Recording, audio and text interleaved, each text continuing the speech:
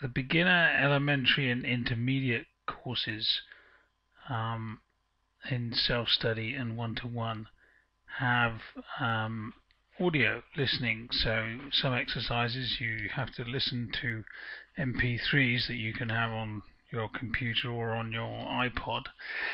And to give you an idea of, of what these sound like, this lesson here, which is um, an elementary translated into Chinese um, on clothes, has a listening. And if I go,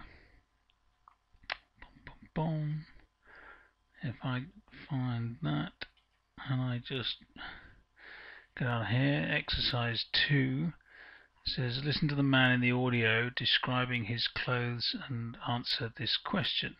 So if I go down to my audio that I've downloaded for free from uh, the English Out There website and then click on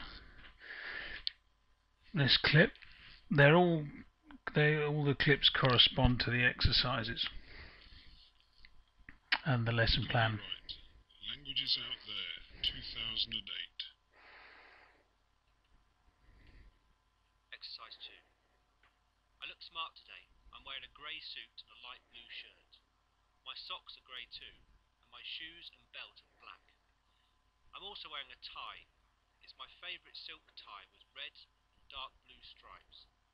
I don't like wearing a suit. I prefer to wear jeans and a t-shirt. But it's important that I look smart today. I'm going to a job interview.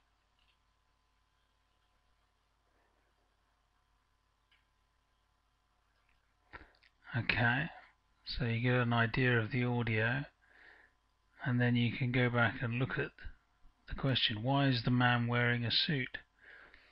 And you can listen again if you want to, but I think I heard him say that he's wearing a suit because he needs to look smart because he's going to a job interview.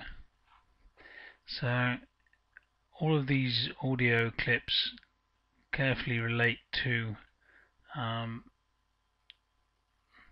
the page. So that file there, SS209, which is the elementary plan, um, lesson plan 9, that um, audio clip was SS20902 and that was exercise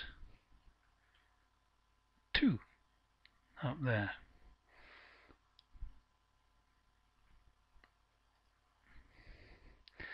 Okay. Pretty easy.